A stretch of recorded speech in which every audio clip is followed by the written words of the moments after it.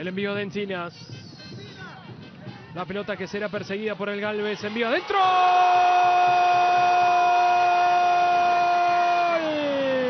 Aliberti. ¡Gol!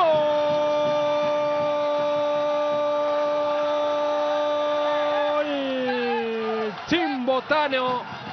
Dice que la suda Liberti. El José Galvez lo sudó. El partido hasta el minuto final, hasta el 91, a través del uruguayo Junior Aliberti.